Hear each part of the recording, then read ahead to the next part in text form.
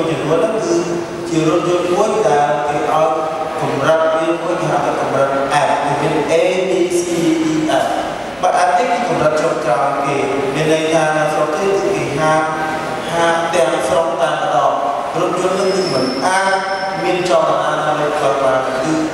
តែខាងគឺត្រូវតែឈប់តែម្ដងបើរថយន្តប្រភេទនេះជាច្រើនគ្រឿងបានហូរចូលមកក្នុងប្រជាណាចក្រកម្ពុជាយើងអឺរថយន្តមួយចំនួនទៀ តអឺ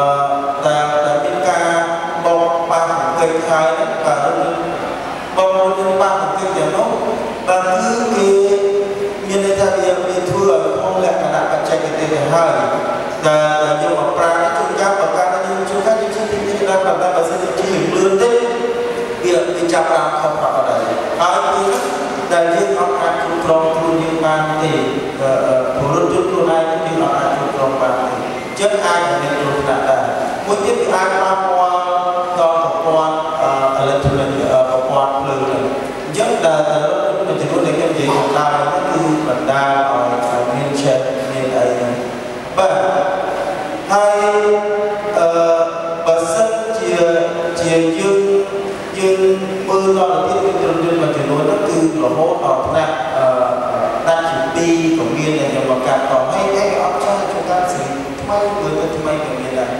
ហើយបងប្អូនយើងមួយចំនួនក៏អត់ទាន់យល់ទៅកត្តាហ្នឹងវាធូរថ្លៃប៉ុន្តែគាត់អត់បានគិតថាអឺជីវិតគាត់ក្រុមគ្រួសារគាត់មានតម្លៃជាងជាងជាងរថយន្តថ្មីឯងអញ្ចឹងអឺអញ្ចឹងហើយបានបានយើងឃើញថាប្រជាជនមួយចំនួនមកដល់ឥឡូវនេះគាត់ចាប់ដើមយល់ដល់បានច្រើនដែរយល់ដល់បានច្រើនអញ្ចឹងបានយើងឃើញថាកម្ដៅនៃការប្រើប្រាស់យន្តថ្មីនេះ មានការកើនឡើងបើអញ្ចឹងដើម្បីយើងបើឆ្លើយតបទៅនឹងសំណួរបងដែលសារព័ត៌មានដែលធ្វើថាអឺដល់ដល់បានមិនដើម្បីកាត់បន្ថយគ្រោះថ្នាក់ចរាចរណ៍បាទ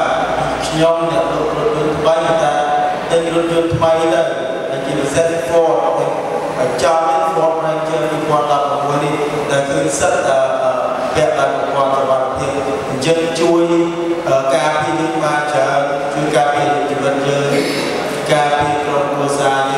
ហើយហើយយើងចង់ទៅមានន័យថាបំរើ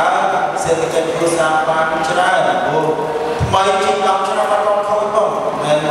បានជឿជាតែមួយឆ្នាំឬកន្លងឆ្នាំចាប់ដើមខូចមានបញ្ហាអញ្ចឹងបើយើងមានលទ្ធភាពគឺគួរតែប្រើទៅថ្មីហើយទៀតមកដើម្បីលោកផ្សេងគាត់ទេបងរំលោភដល់សប្តាហ៍បាយដល់មានលុយដៃបងឲ្យគេបាន